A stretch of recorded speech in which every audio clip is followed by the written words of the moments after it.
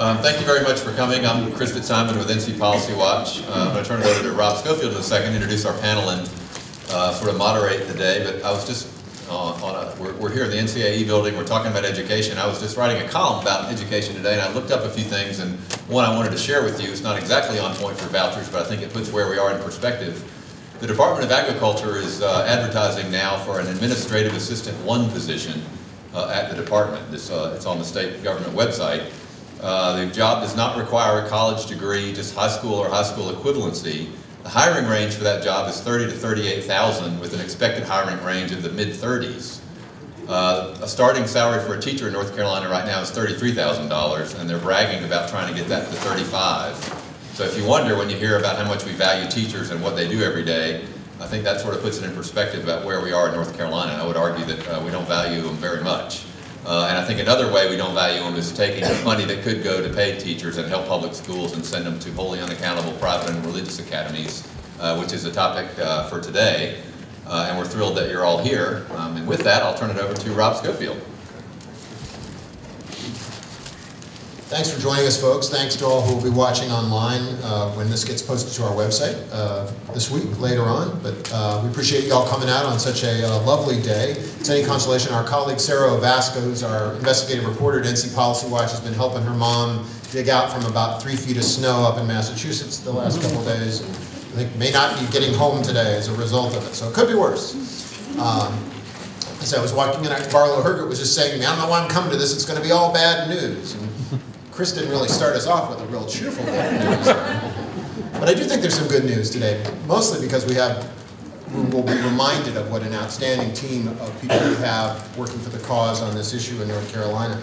Uh, but as you all know, for the time being, school vouchers have come to North Carolina thanks to the state's conservative political leadership. Several million dollars in taxpayer money now flow to unaccountable private and religious schools throughout the state.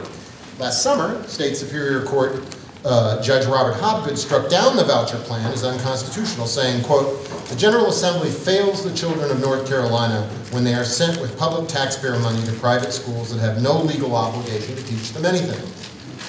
Since that time, however, both of the state's higher courts have allowed the voucher program to proceed. And meanwhile, the case challenging its constitutionality has been fast-tracked for final argument, which will be a week from today. The lawyers from both sides will appear before the state Supreme Court to make their cases. Uh, today, we're lucky enough to have a panel, a wonderful panel of three experts who are going to both help us know where things stand, remind us of some of the arguments that we all need to take with us as we go forth to discuss this issue with our friends and colleagues, and tell us, puts, just put some more of a, a personal imprint on the story as well. We're going to begin uh, we, and actually, I should note that two of our three uh, speakers today are actually folks who I think are undefeated in runs for public office. So that's another good sign here today. And, I, and we actually do have, I believe, the chair of the Wake County School Board. Where's Christine? Christine Kushner is with us today. Thank you very much for joining us. Natalie Beyer. Oh, and, where, where's Natalie? Okay, there's Natalie from Durham. Thank you, Natalie.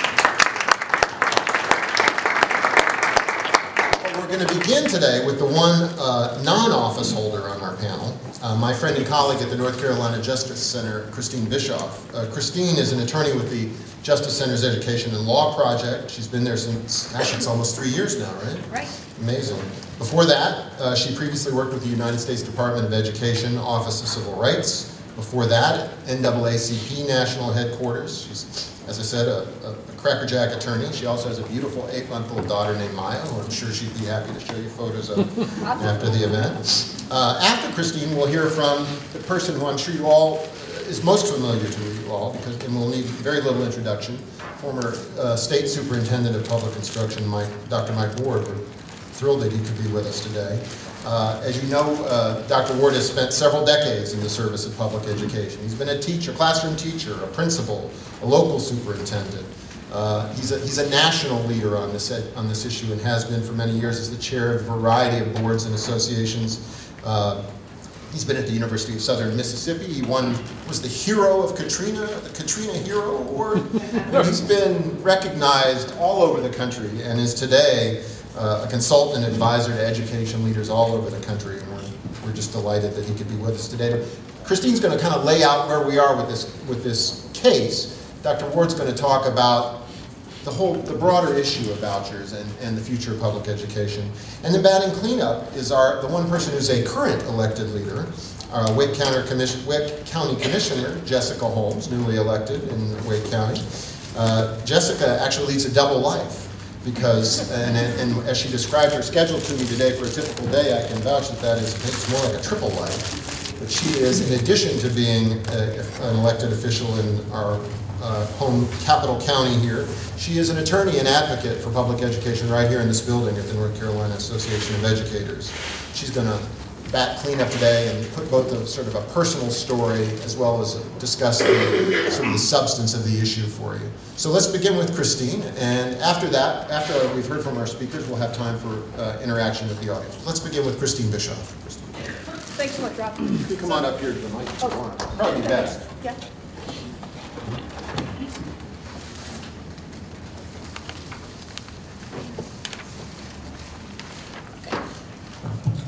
Let's see. So again, I'm Christine Bischoff, and I'm a litigation attorney at the North Carolina Justice Center. And so I'm going to do two things today. So as Rob mentioned, I'm going to recap the case and kind of let you know how we got here, and here being a week away from the arguments in front of the North Carolina Supreme Court, which I can't plug this enough. You know, if, next week, Tuesday at 9:30 a.m. We hope you all will come. I think it'll be really interesting to see because you care about the issue, but I also think it would be interesting just as a as a citizen. This will be a good case, case if you're going to watch one North Carolina Supreme Court argument your, your whole life. I think this will be a good one. Um, because we have good arguments on both sides, good lawyers on both sides.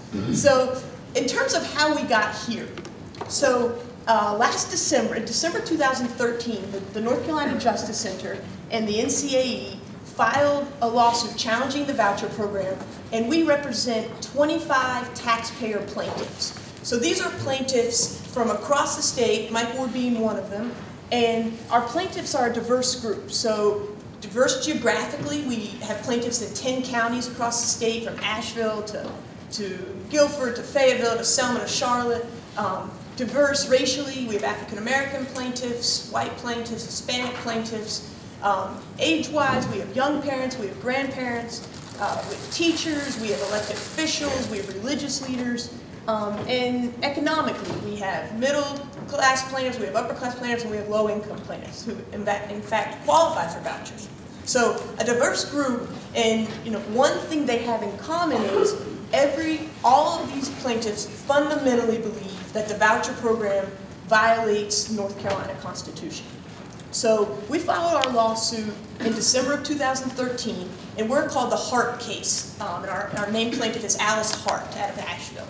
And so about a week later, the school boards, the, the North Carolina School Boards Association, and about 80-some local school boards filed a, we call it a companion case, so a very similar case. They have one additional claim about religion, but essentially to this point, the cases have been heard together. And they're called the Richardson case. Um, the North Carolina Supreme Court is going to hear arguments separately. Ours is at 9.30, theirs is at 10.30, but the trial court treated them as one.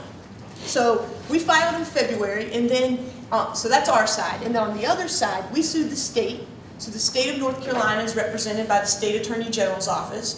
And then two groups intervened, meaning they just, they joined the lawsuit on the other side in support of the state, so in support of vouchers. And those were two parents, so they're called the parent interveners. And they are parents who want their children to be able to use a voucher to go to private Christian schools. And they are represented by a group, a libertarian group in Northern Virginia called the um, Institute for Justice. And their deal is they just go around the country getting involved in these cases, supporting vouchers. So they've been in the Florida case, the Arizona case, the Colorado, they've been in them all, and now they're in North Carolina. And then the other interveners are the legislative leadership. So our legislative leaders, um, and they've hired a law firm, Nelson Mullins. So they're paying, so basically our tax dollars are being used to, for the state to pay the Attorney General's office to defend the program and for the state to pay this private law firm to defend the program. So, um, so those are the parties on the other side. So uh, in February, the trial court said, um, granted a preliminary injunction. And so what they basically said is the program must halt um, until I hear a full uh, hearing on the full merits of the case. So that was great for us. So the program was going to halt in February, and they were going to have a hearing later. But then the state Supreme Court said, no, that's not going to be the case. We're going to let the program go forward until we have a full hearing on the case. So as you probably heard, all summer, the program, you know, kids were applying, kids were receiving vouchers, the lottery was, you know, lottery winners were picked. And so then we had a full hearing in August, and we just could not have won bigger at the hearing. So basically, the trial court judge said that he found the program unconstitutional on all of our claims. And um, the trial court judge, Rob said, read some of the language. The trial court judge said also that um, it appears to this court that the General Assembly is seeking to push at-risk students from low-income families into private schools in order to avoid the cost of providing them a sound basic education in public schools as mandated by the Leandro decision. Um, the, the, uh, the court also said the General Assembly fails the children of North Carolina when they, when they're sent with public taxpayer money to private schools that have no legal obligation, is what Robert, to teach them anything. So really a strong, strong opinion. So, so then all of a sudden the program had to halt, had, it was unconstitutional, vouchers had, no more movement could occur. But then the um, Court of Appeals said, well, what we're going to do is we're going to let the program continue for the kids who already have vouchers. So school's already started, kids have started using vouchers. We're not going to make these kids change schools in the middle, you know, at the beginning of the school year again. So those kids stay in the program for the year. So, um, and then what happened, so normally, uh, when a case, you know, the, whoever, when the first time a case is appealed, it would go to the Court of Appeals. And then most likely, whoever loses there would appeal it to the state Supreme Court. But what happened in this case was the state Supreme Court said on its own, we don't want the Court of Appeals to hear this decision, to, to hear the case. We're gonna hear it directly to us. So it's going to come directly to us. It would most likely end up with us anyway, so we're just going to hear it directly. So, so they decided that in the fall. And so um, then in December, the, the interveners said, well, well, State Supreme Court, we want you to um, allow the voucher program to keep running while, until you issue a decision. So basically what that would mean was if the State Supreme Court took two years to issue a, depi- a decision, the program could run for those two years. And the state Supreme Court said, no, we're not going to allow that to happen, but we will allow the state to take the administrative steps necessary to get the program in place in case it moves forward next year. But no new voucher funds can be paid out until we make a decision. So that was, um, you know, I think we did not consider that a, a bad thing at all. Let, let them do their state administrative steps, but no new money can go out.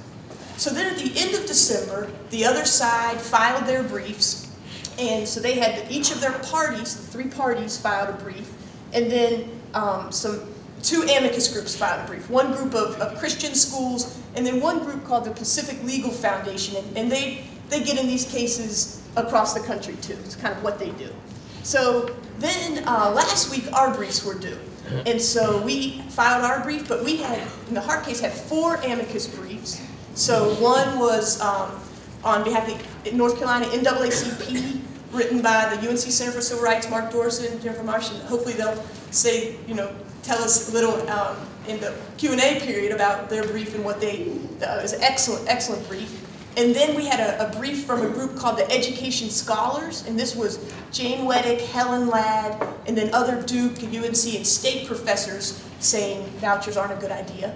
And then we had the North Carolina ACLU filed a brief on our behalf, and then the National Education Association, so the NEA, filed a brief on our behalf. Um, and so now the case is all teed up to be argued next week on Tuesday, 9:30 a.m. And the address for the North Carolina Supreme Court is 2 East Morgan Street. So it starts at 9:30, and just say get there early because it's probably going to be crowded, but it will be very interesting to see. So that's how we got here. And now let me just briefly tell you our two main arguments. And you know, these were our two main arguments at the trial court level. They haven't changed. This, this is where we stand, and we feel very, we feel very optimistic about these arguments. Um, the other thing I want to just say before I say that is, so, so Mike and Jessica are going to talk about the policy, um, policy issues involved in vouchers. And those are all very, very important, very important issues at play for our state and for our kids.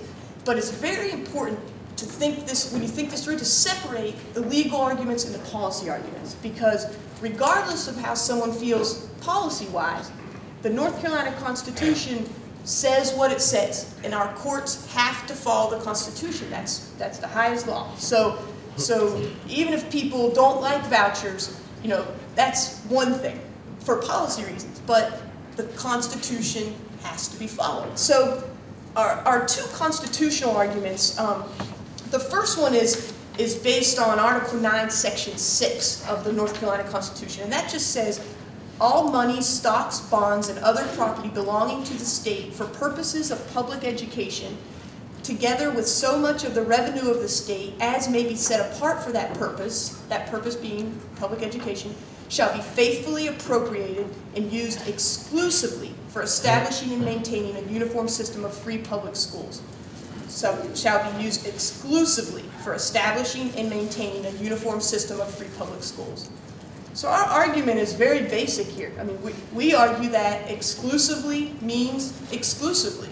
And the framers of the, the drafters of the Constitution said money for the purposes of public education, to educate the public, must be used exclusively to establish this uniform system of free public schools. So, you know, giving public money to unaccountable private schools directly contradicts this. So that's, that's, our, that's our, one of our arguments, and again, we feel the history of the Constitution supports it, the, the intent of the framer supports it, and the clear text of the Constitution supports that. So that, that's one of our main arguments. And then our other main argument is based on Article 5, Section 2 of the North Carolina Constitution, and that just says, the power of taxation shall be exercised in a just and equitable manner just and equitable manner for public purposes only. So basically, the state can tax us, but it can only use our tax dollars for public purposes. And we argue that giving public tax dollars to private schools that aren't accountable, and when I say don't accountable, Mike and Jessica will talk more about this, they don't have to have certified teachers, they don't have to teach any certain curriculum, they don't have to give a certain standardized test, they can teach kids for an hour a day, they can discriminate and not accept anybody who isn't their religion, uh, they don't have to do background checks on the teachers, a teacher cannot have a high school diploma and can still teach in a private school, and you're not even allowed to homeschool your kids unless you have a high, a high school diploma, but yet you can, can teach in a private school that takes this voucher money. So you know, all these things, both in terms of there's no accountability, how could that possibly be a public purpose? And then the fact that the school can openly say, Christine, I do not accept your, I will not take your child into my school because you are not fill in the blank religion. And they can openly say that, and we're giving them our tax dollars. So how could that be a public purpose? And in, and in North Carolina, education has meaning because of Leandro. So the, the Constitution says kids, kids have a right to a sound basic education. And that has meaning. It means certified teachers and resources, and kids have to learn science and math and economics so they can be contributing citizens. And, and all of that just directly goes in the face of, of how could it be a public purpose. So on that note, I'll hand it over to Mike, but happy to discuss further and answer any questions that you may have.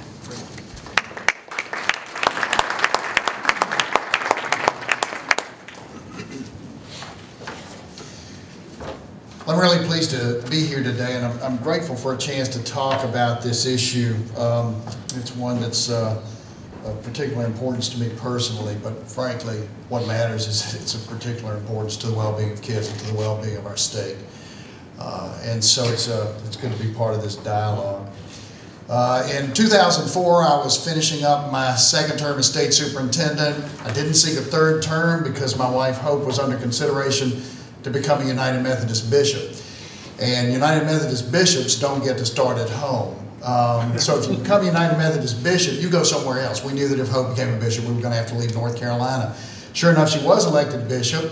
That took us to the state of Mississippi, uh, where she served her first eight years as United Methodist bishop, and where I joined one of the world's smallest fraternities, bishops' husbands. Um, so we were there for eight years. Uh, and while Methodist bishops can't start at home, it turns out they can return home. So in 2012, Hope was appointed uh, to North Carolina, to the eastern half of North Carolina, as the bishop for All Points, uh, Gibsonville, eastward. Um, and so we returned in 2012. Now, when I left in 2004, North Carolina's public schools had moved, and, and please don't misunderstand, I'm not taking credit for this. I know who did the heavy lifting. But in 2004, we had, we had moved into a position uh, where we were out of the bottom of the nation's barrel, education, educationally speaking. We had moved into the middle of the pack performance-wise. Uh, we had moved into the middle of the pack in terms of resources we committed to schools. Uh, we were in the low 20s with respect to the rank of our, our, uh, our teacher salaries. Um, so while we weren't at the top of any indicator, we've gotten better than just about any other state in the country, and we've gotten better quicker than most other states. So we on a, a very solid trajectory of improvement uh, in the year 2004. Hardworking teachers, administrators, bipartisan leadership in the General Assembly, a business community that was committed to public education, all those things helped make that possible. So we came back home in 2012, spirits high. And we found a very different circumstance in North Carolina. What did you do? What did you let happen? Eight years, and we, we found ourselves returning to a remarkably different North Carolina than the North Carolina we had known previously. Well, uh, we, we, we re-engaged uh, with the, the community and, uh, and, and, and uh, with the policy issues that are, that are uh, uh, on the forefront, on the front burner here in North Carolina, and, and, uh, and got active uh, and got busy. Um, and I felt strongly enough about one particular piece of legislation that I joined a, a group of litigants. Um, and we sued over the voucher bill that had passed in the 2013 General Assembly. Uh, it's not an easy thing to sue your home state. North Carolina's been awfully good to me. Um, I'm a first-time college graduate, uh, first-generation uh, college graduate. Um, I'm a product of public education. Um, I went to NC State University for all three degrees. I believe that there's a reason that, that lifeblood is state red. Um, this is, this is a, a wonderful place to call home. And so to decide to sue my state was, was a really difficult decision. But I just think this is incredibly bad policy. I think it's an incredibly bad policy direction for the state. Uh, and so I joined the, uh, the group of litigants that, uh, that are in court over this issue. Uh, and I did so for three reasons. I tend to, to organize things that I want to say into three points. I think it's because I'm married to a Methodist preacher. And if you watch, if you count, they'll preach you a three point sermon every time. and it's useful uh, to know how many points somebody's going to address with you in advance because if it's going badly and you're counting, at least you know how much you have left to endure. So I'm going to share with you three thoughts about why I think this is really bad public policy. Uh, first of all, it's bad policy because it runs counter to the spirit of progressivism where education is concerned in North Carolina. Our citizens have a progressive perspective on public education. It's manifested throughout our history. Um, we haven't always gotten it right. There have been some terribly regressive moments uh, during the course of our journey with public education in North Carolina, but for the most part, we've had a pretty progressive spirit as a state and as a group of citizens about the issue of public education. It runs counter to citizens' beliefs about public education. In fact, if you poll the question of vouchers among citizens in North Carolina, you, you, you consistently get a negative reaction to the idea of using taxpayer dollars to underwrite private school tuition. And I think that happens for a couple of reasons. First of all, citizens just by and large don't want to see their hard-earned tax dollars underwrite the tuition for somebody else's child. 70% of our kids, uh, 70% of our citizens, 70% plus of our citizens don't have kids in school. And that number is dwindling all the time. Citizens don't want their hard-earned taxpayers underwriting private school tuition. So that, it, it runs counter to public uh, opinion in, in that regard. Citizens don't want public dollars funneled to unaccountable institutions. We believe as taxpayers in holding institutions that use public dollars accountable for the use of those dollars. I believe it was uh, uh, Stephanie Bass at a meeting one day about, uh, about the voucher suit, who said that your dog kennel is more accountable uh, than private schools in North Carolina. Now, I want to be clear about something. This isn't a diatribe about non-public education. Uh, uh, parents have a perfect right to choose private education for their children. Uh, and there's some marvelous non-public schools in North Carolina. So the point here isn't to badmouth private schools, but it is important to acknowledge that private schools as a body are not accountable. They're not accountable for performance. They're not accountable for the personnel, uh, accountable for a number of indicators uh, about uh, human resources uh, to which uh, public schools are held. Um, and so citizens don't want their resources going to non-public uh, institutions that are not accountable for the use of those tax dollars. Citizens don't want their dollars used to underwrite secular education. Some do. I, I suspect you can find some citizens who think that's a, that's a good enough thing to do. But for the most part, I think our citizens think that the, uh, the Establishment Clause of the U.S. Constitution works just fine, thank you. It's a social principle of the United Methodist Church that we support the Establishment Clause. And so citizens don't want their, um, don't, don't want public dollars to underwrite secular purposes. Uh, and so I think that's an important consideration when we think about that first point, that this runs counter to the spirit of what, what North Carolina citizens want to see happen with their tax dollars.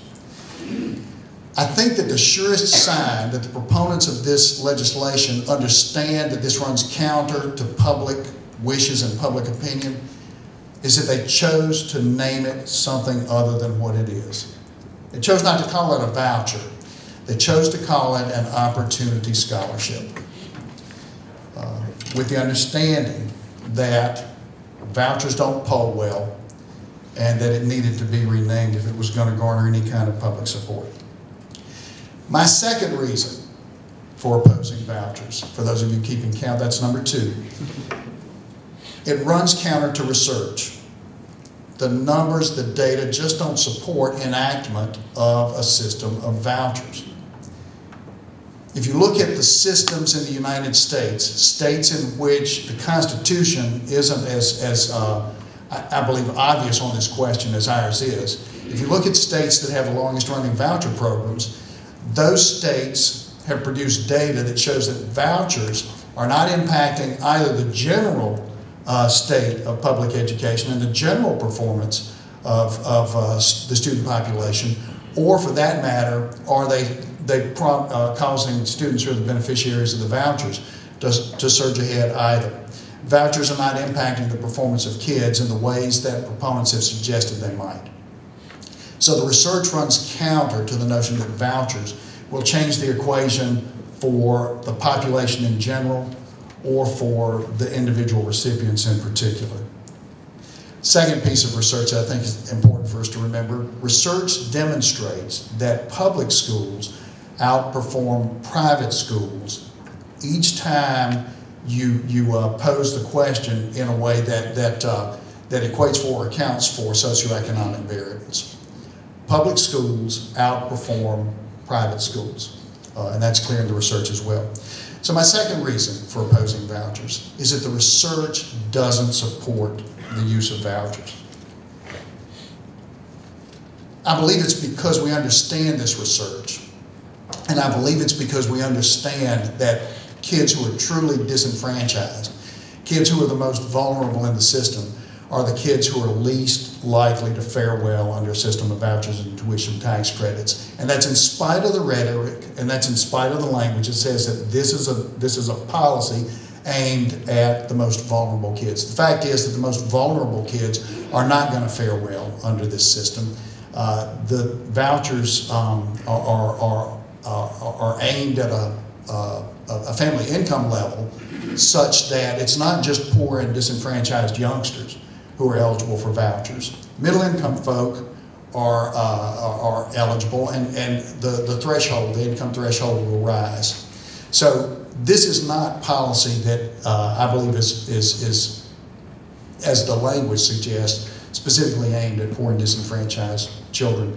This is a public policy that's aimed at, at uh, making vouchers available ultimately to uh, kids of middle and upper income families. If you look at the voucher program in Milwaukee, for example, under their guidelines, over half the kids in Wisconsin would be eligible for vouchers. Income thresholds have gone up for vouchers in other places. Um, so I believe it's for these reasons. I believe this research and, and, and this, this, uh, th- this line of reasoning suggests to us why those who advocate for children who are at a disadvantage in the system don't support vouchers and tuition tax credits. And they certainly uh, don't consider the proponents in the legislature of this policy to be their champions. The third reason, if you're keeping count, is one that's already been, I think, laid out for you um, uh, uh, very thoughtfully by Christine, and that's it's, it's unconstitutional. It's just that basic. It's just that fundamental.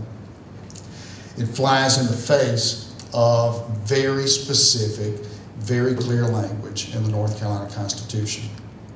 So, for those reasons and others that I'd be glad to describe if, if uh, we want to get into them in the Q&A, um, I'm opposed to a system of vouchers um, and their, their cousin, tuition tax credits. I want to close by thinking ahead a little bit.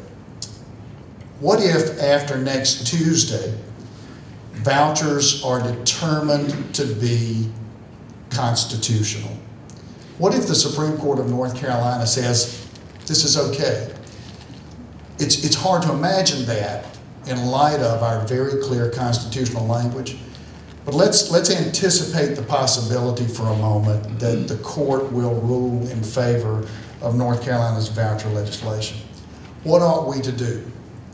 The last thing I suggest that we ought to do is to just simply give up, to, to wash our hands of this particular policy issue, shrug our shoulders, and say, let's move on. I think what we need to do next is create a political environment in North Carolina that makes it politically untenable to champion the release of any more public dollars to this program. That means political activism. That means hard work across the state to make sure that policymakers hear resoundingly that while it may, it, it, it may pass constitutional muster, it is not politically the right thing to do to continue to support such a policy. Now, that's on the off chance that the court doesn't see it our way. I, for one, believe that we're going to prevail on this issue, and I look forward to your questions, your comments, and your editorials when we get into the Q&A session.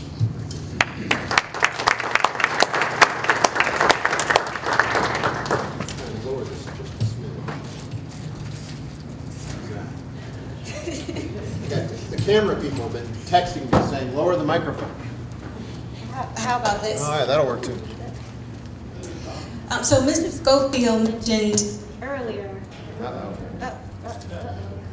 What my sound. Mrs. Schofield mentioned earlier that Christine,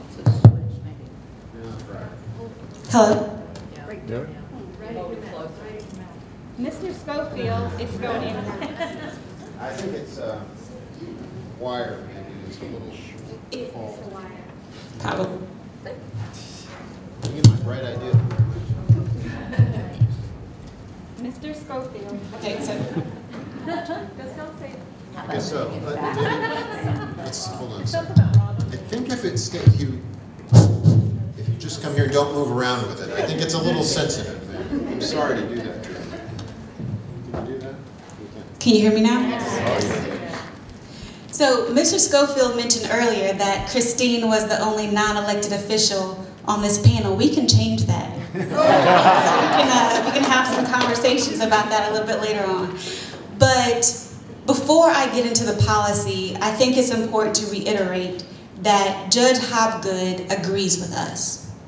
He agrees with the plain language of our Constitution, which very clearly states taxpayer dollars are to be used exclusively for establishing and maintaining a uniform system of free public schools. So, yesterday I was at this meeting and this question was posed. You have a mother whose child attends a school that has been designated as an F, has been given an F grade. This mother is sort of stuck in this neighborhood, doesn't have the option to move. Neighbor down the street, who's wealthier, says, I'm going to take my child and move my child to a private school. Mother says, I pay my taxes. Why can't I use my tax dollars and send my child to a private school? My child attending this F school, this will impact their ability to get into college. I want my child to have a future just like the person down the street. What do you say to that mother? After pondering that question for a while, I had a question of my own. My question to that mother would be Did you vote in the last election? The North Carolina General Assembly is tasked with providing a sound basic education for all of our kids. So the schools that received a D and F grade, if those schools are indeed failing, what that says to me is that our General Assembly is failing. Now, some legislators like to take sort of a laissez-faire attitude to government. I'll give you an example. Former Representative Thom Tillis, big proponent of the voucher program, big proponent of diverting our taxpayer dollars to public schools. He is so keen on deregulation that he doesn't believe that the person cooking your dinner should wash their hands. That same rationale shall not be applied to our education, to us educating our kids. I say to that parent, do you really want to apply a no hand washing mentality or rationale to the education of our kids? These private schools aren't required to be accredited. They're not required to hire certified teachers. As Christine mentioned earlier, if you decide to homeschool your child, you have to at least have a high school degree. To teach a child at a private school, you don't even need a high school degree. Not to mention safety concerns, because only one person in the entire school is required to undergo a background check. On top of that, they're not even required to teach a curriculum. Now, no one's against private schools here. I certainly support parent choice. Parents have always been given a choice. They've always been given the option of sending their child to private school if they can afford such. But I say to you and to that parent, we will not allow a no hands washing mentality to be applied to our taxpayer dollars. Now, I'm going to take off my lawyer hat for a minute and speak to you as that low income child that this legislation was proposed to, to benefit. So, I was raised by my grandma. She had a, a smartest woman you'll ever meet with a fifth grade education. She has never had a driver's license. So, as that low income child, one, I wouldn't be able to participate in the voucher program because she had no transportation. Our public schools provide transportation for all kids to and from school. Two, another requirement of the program. In order to qualify for this program, you have to meet the federal requirements for free and reduced price lunch.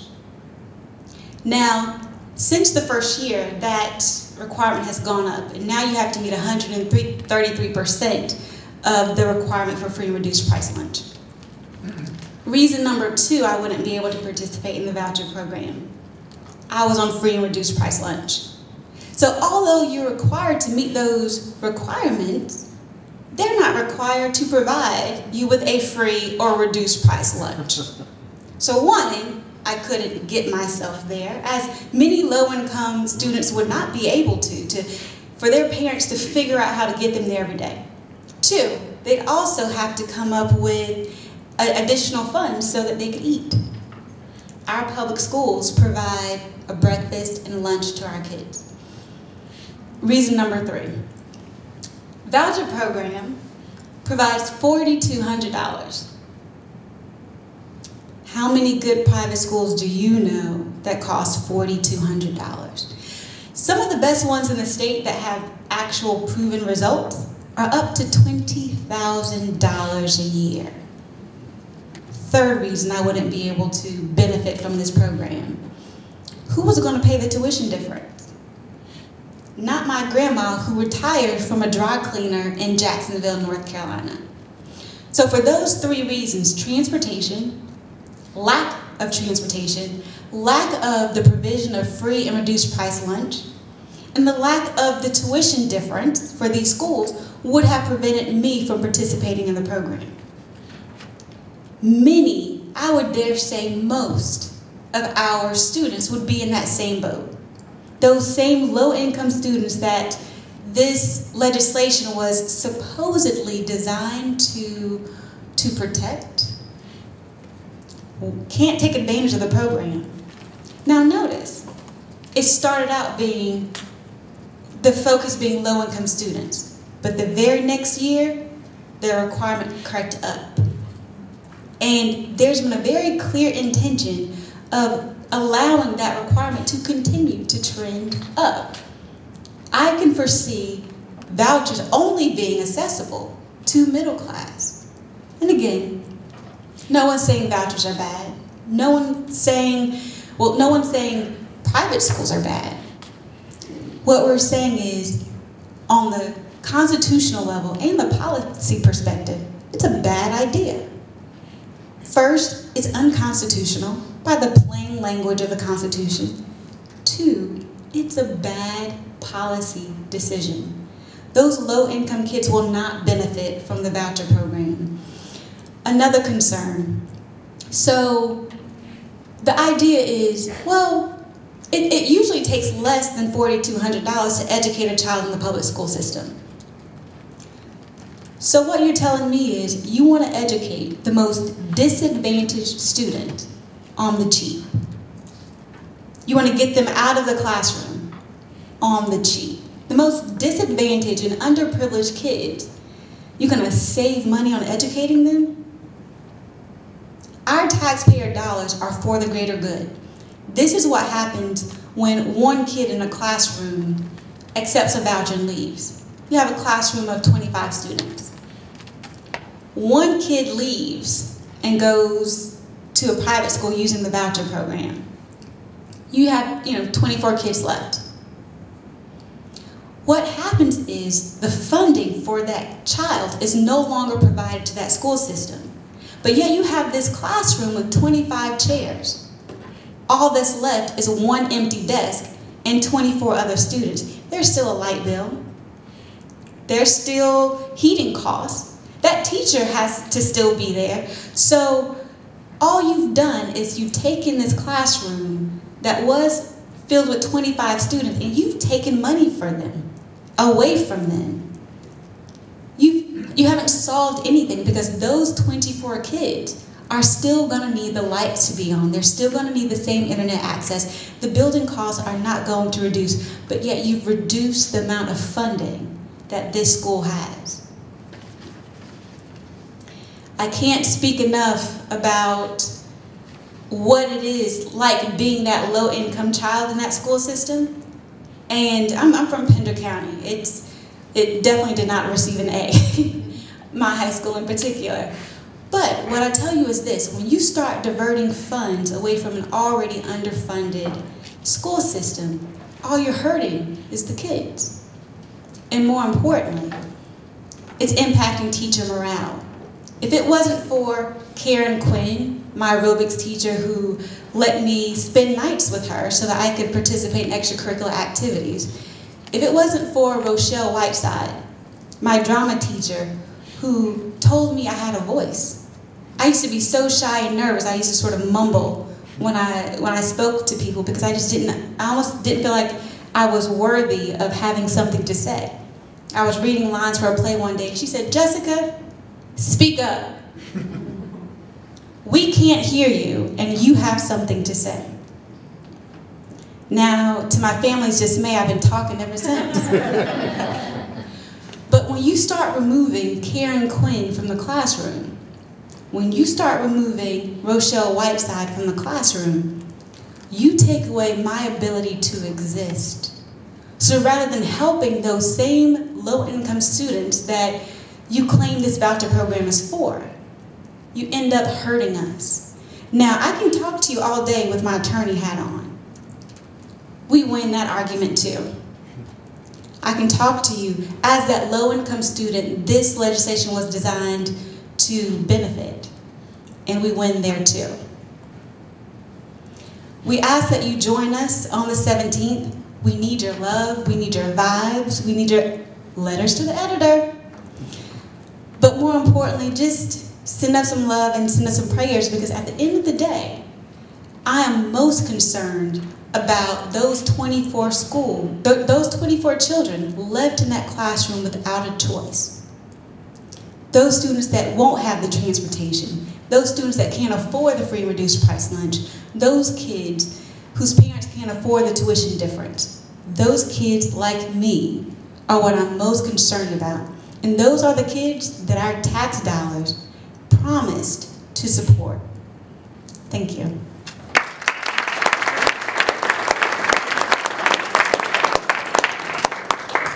Wow, uh, that was great, Jessica. Thank you very much. Um, one, before we take questions, I do want to highlight one other person in the audience, and that is my colleague Lindsay Wagner over here, who many of you maybe read her education reports, and if you're not, she has redefined education reporting in the state in the last couple of years, and we're you know just so proud of her work at NC Policy Watch. So please do subscribe and check her out. We're going to take questions from the audience. Now we don't have a microphone for y'all, so whoever's asking a question will really need to project. And, and with some trepidation, I'm going to pass this microphone around. We'll see if we pull that off. But we are recording this for the internet, so we want to try and catch everybody's voices as best as possible. So the first hand is there in the back, so please speak up. Yes. Given what the Constitution says, how is it that the attorneys who support the vouchers, how do they interpret that? Christine, you want to take a shot at what their argument is? The question the question. is, what are the, what's the other side's constitutional argument? How, it seemed, the language seems so plain. How do they respond? So, so that's a, that's a great question. And so the other side, they are using. Um, so when you go home and Google this, const, Google North Carolina Constitution, look at this provision that I've that I've read you, Article Nine, Section Six. So it's long. Um, and there's a lot of, it talks about using swampland money for this purpose and grants and gifts. Um, and so they basically say that, that the language here do, does not preclude the legislature from using money for private education. That sure, the public education dollars must be, um, must be faithfully appropriated to public education, but it doesn't preclude the dollars from being used for private education. And so our, our response is that that makes no sense. That of course dollars that are appropriated for public education must be used, I mean, that, that it, it basically is taking away the meaning of that language, that to, to say that twice. So, so that's our response. And there's also some interesting, and if anybody is interested in learning more about this, feel free to email me and I'll send you the brief, which, which talks a lot about the constitutional history. And the constitutional, you know, the North Carolina Constitution has been amended several times. And they, they also use an argument that um, at one point the Constitution said that, that this money shall be used for this purpose and no other purpose whatsoever. and because the current constitutional language doesn't say for no other purpose whatsoever, then, then the money can be used for private education. But our response is that it doesn't say for no other purpose whatsoever. What it says is exclusively. So the, the drafters of the Constitution just, um, yeah, just lessen the number of words that were used. So, Mike, want to? I, I, I just want to add one thing to that, and that is that, that let's say that, um, that, that, that things proceed as we think and hope they will, and that, that vouchers are ruled unconstitutional um, by the state Supreme Court. I would still be on the watch for legislative sleight of hand um, that seeks through some nuance of language to still worm some type of legislation of this sort. I, we, we've already heard some legislators say uh, in the wake of some of the hearings that have taken place, we can fix that. We can, That's how they're we can fix that. We can't fix the microphone, but we can fix that. Did you want to add to that, Jessica?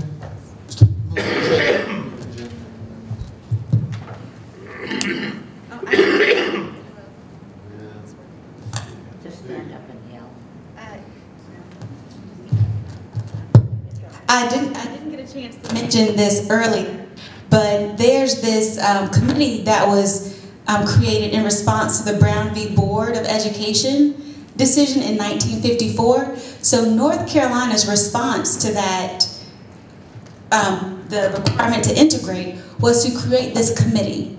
And basically what this committee did was create a voucher program.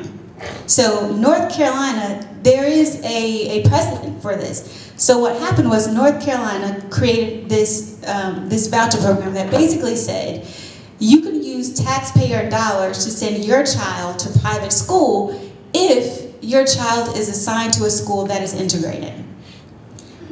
What was decided in that case was that because of the plain language reading of the Constitution, they needed a constitutional amendment in order to enact this voucher program.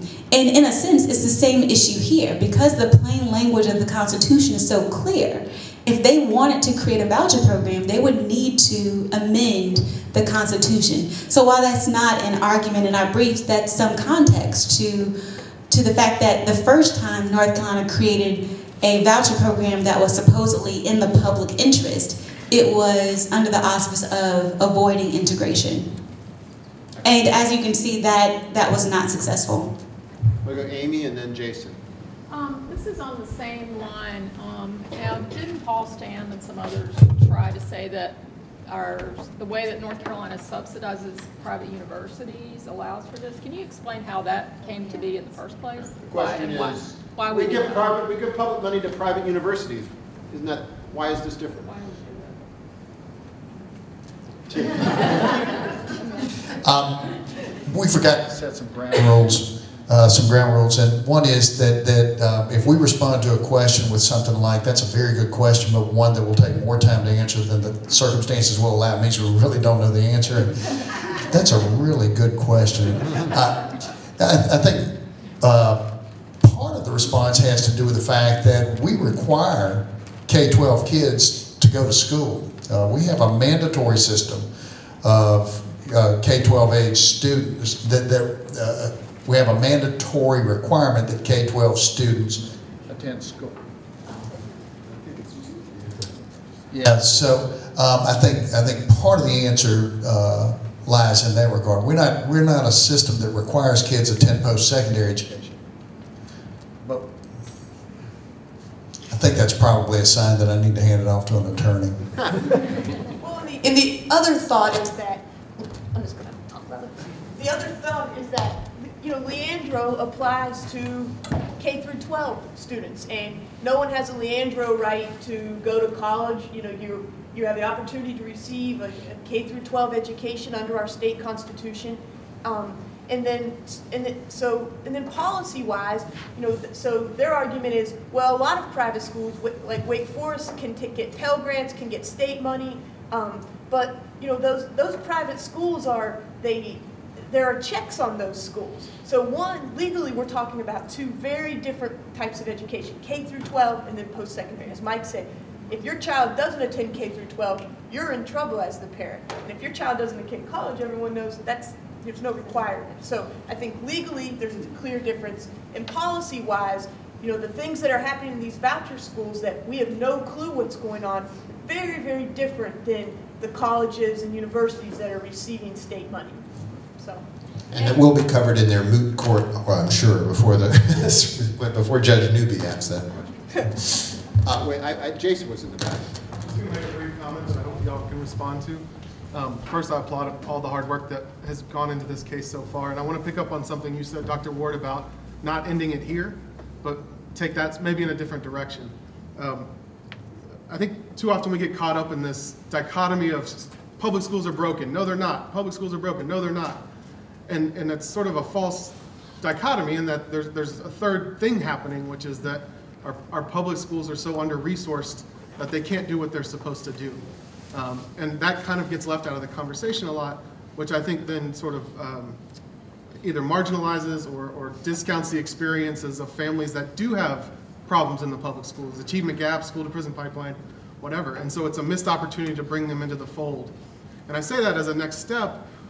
Um, when do we start moving towards affirmative litigation to strengthen our public schools instead of being on the defensive all the time? The lack of instructional resources, teacher funding, um, sort of, how can that be a next step to, to take us somewhere else so that maybe the right or the profiteers can stop um, um, sort of exploiting low wealth communities into thinking that this privatization is good and instead support some of the pleas that they're making?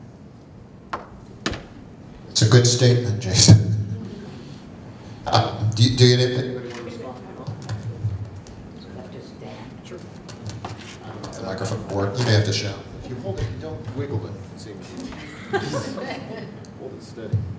Um, One of the things I want to make sure that I'm clear about is that I'm not an apologist for schools that aren't getting the job done for kids, for kids who are vulnerable and who are struggling.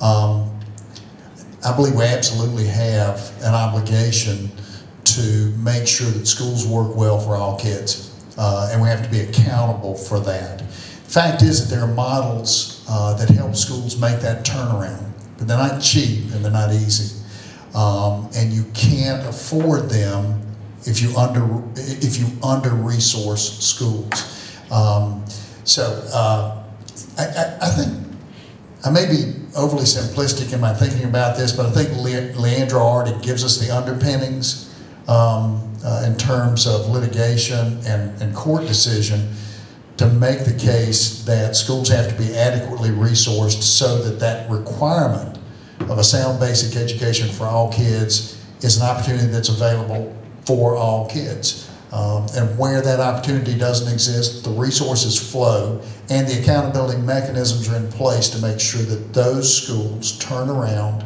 um, and provide the, the opportunity the kids deserve.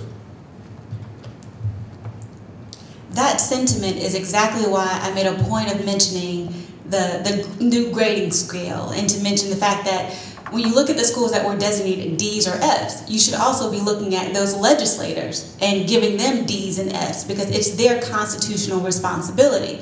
And it, it's not by mistake that these schools end up with these grades. They are underfunded. When you remove thousands of TAs from the public school system, when you eliminate the budget for textbooks with the rationale that you're going to move to digital technology and you, you cut that budget by $50 per student, how many iPads and computers can you buy for $50? So they minimized the textbook budget, but they didn't increase the technology budget accordingly. So these things aren't happening to our public schools by accident. They're not failing by accident. When you remove good teachers from the classroom because they can no longer afford to be there, when you remove the TAs, when you do things that you know will devastate the public school system, like an active voucher program that diverts $10 million. These things are an expectation, and these things have names, and they're the people on Jones Street. I think it's worth pointing out that whenever I debate on conservative talk radio on Friday afternoons, when I go on the Bill LuMaye show, the folks that I'm debating with often refer to our public schools as government schools. Yes. Yes. And as, you know, th- th- there's, there's definitely an intentional privatization movement of which some of this is sort of a self-fulfilling prophecy that takes place. Make the public schools fail and then use that as an excuse to further shift resources. Barlow, I think, was next, and then maybe David. Barlow? Uh, I'm Barlow Hurd. I've got three uh, questions, two of which can be answered very quickly. I'd like to know how many of those students that were, were grandfathered in this year, how many uh, are enrolled under the- the voucher program right now? Uh, How many uh, children, we know how many children in charter schools, uh, publicly funded charter schools, are on free lunch?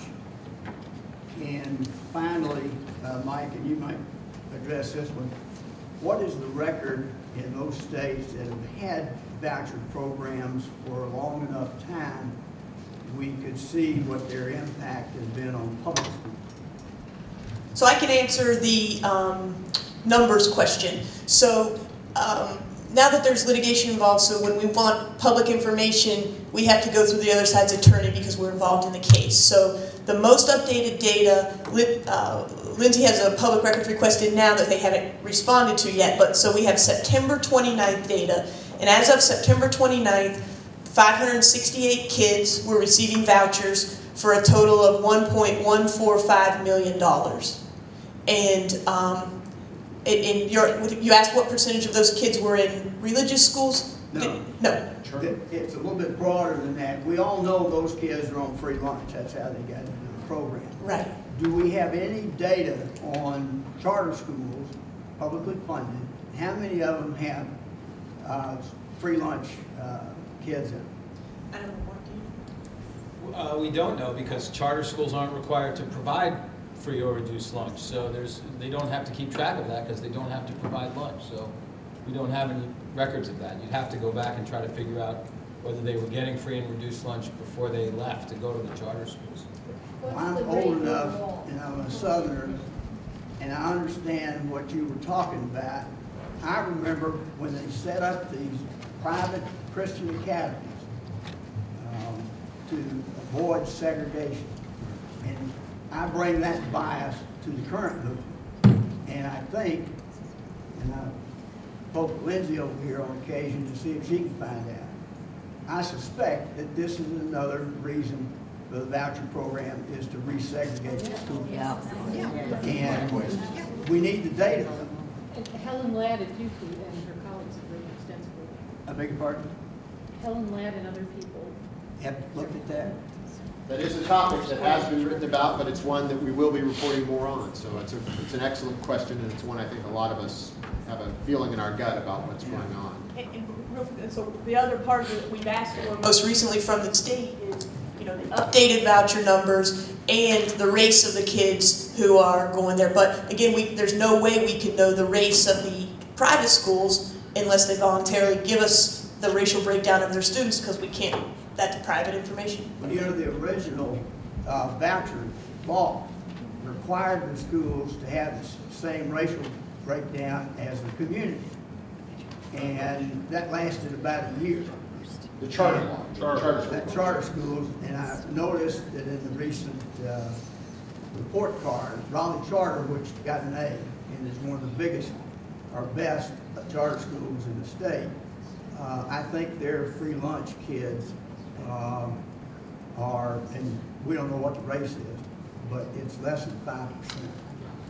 And actually, Christine, there is a little public, some char- uh, private schools do provide some information about their demographics. And so in the NAA, in North Carolina NAACP amicus brief, which the Center for Civil Rights helped draft, um, for example, you know, Word of God Christian Academy in Raleigh, which received 26 vouchers, is 100% African American, compared to Wake County Schools, which is 49% white, 25% black, and 15% Latino. And we know that Tabernacle Christian School in Monroe, in Union County, is, got 17 vouchers and is over 90% white, whereas the public schools in Monroe are 68% white and about 32% non-white. So what we know is at least um, in the five highest, five private schools that received the most vouchers in that first round, we know that the 121 students attending those five private schools, which are either hyper-segregated white or hyper-segregated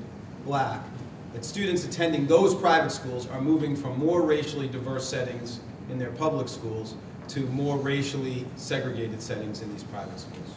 Thank you. David, did you have a question? Yeah, um, a couple of quick points and then a question. Um, It, it seems to me, just picking up what several of you have said, two, I think two important political talking points. One is quite obvious. It's, I'd like someone to, and I'm, I'm, I'm using this rhetorically.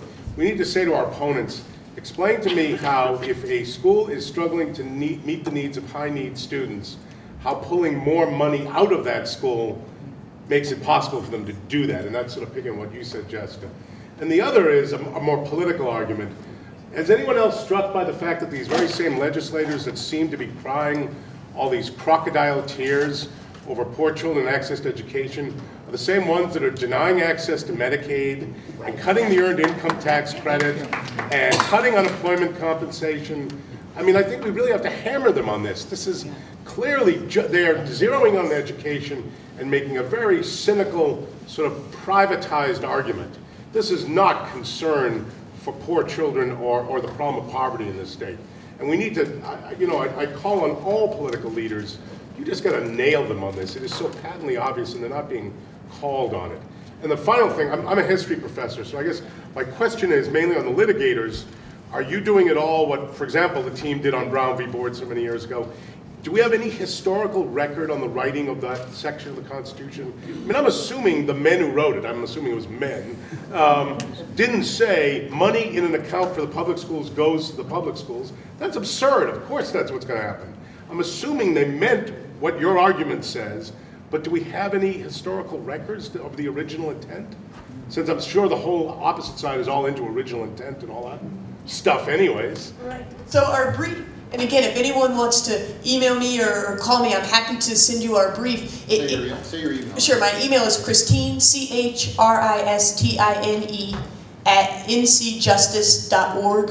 So our brief, I believe, we cite as our source um, a, a a law review article or um, some source like that that, that looked back at what was going on at the time um, to, to get the intent. Um, I can, again, if you email me, I'll send you the, the brief, but uh, they, I'll also send you their brief too, and they, you know, kind of their I, I, argument that by leaving out certain words and including certain words, that they end up with, that their argument they think is a winner. So, um, but I, I agree with you, to, to repeat, money for public education must go to public education.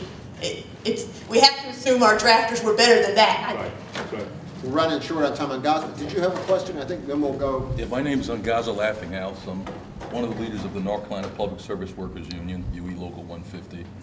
And as you probably guessed, our union is very concerned about this issue. Um, Our union is mostly working-class people, mostly people of color, and very concerned about this issue. But also want to just thank you for the legal initiative.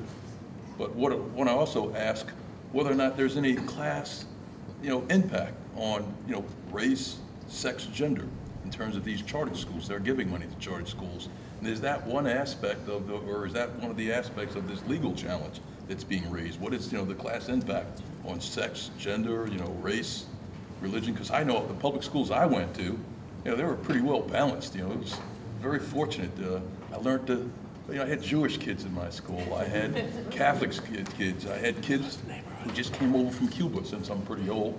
It was during the time when uh, many of the Cubans were coming to America because of the revolution going on in Cuba. But that was a part of my education, you know, going to the Bar Mitzvah and meeting Jewish kids and Catholic kids and folks who were different than, uh, who had different backgrounds. But wondering if there's any legal aspect or any legal, uh, uh, uh, you know, sort of challenge to the impact that these charter schools are putting money in charter schools in terms of how that takes away from the broader, you know, sort of education young people have. And the second point I want to raise is the question of, you were saying um, that um, they, they talk about government schools.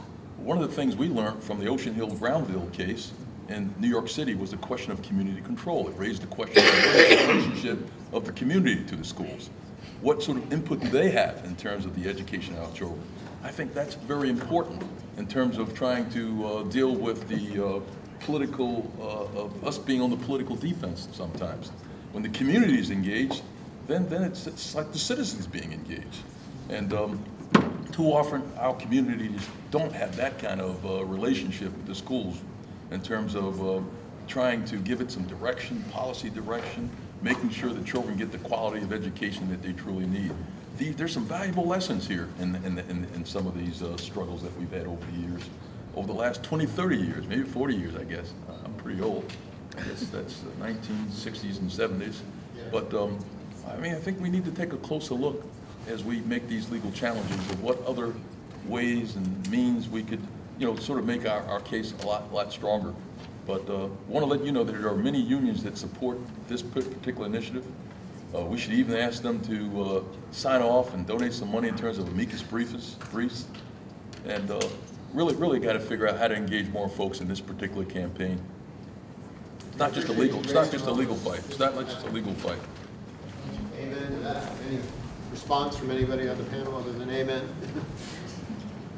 Well, the, the only thought is, so on the, the vouchers, um, originally we had a claim that you can't, dis- that the voucher schools could discriminate based on race or national origin as well. So that's one thing that many of you know, last summer, the reg- legislature went back and explicitly fixed, and they said, no, they can't discriminate based on race or national origin. But they can discriminate on religion, they can discriminate on sex, they can discriminate on sexual orientation, income, um, hair color, I mean, anything. So, so there's a, I mean, potentially a lot, and, and a lot of the schools, like I said, are very clear about unless you sign a statement that says you are 100% a believer in our faith, we will not take you. And, and we're allowed to do that under the current, but, you know, restrictions of the program, lack of restrictions. Yes, yeah.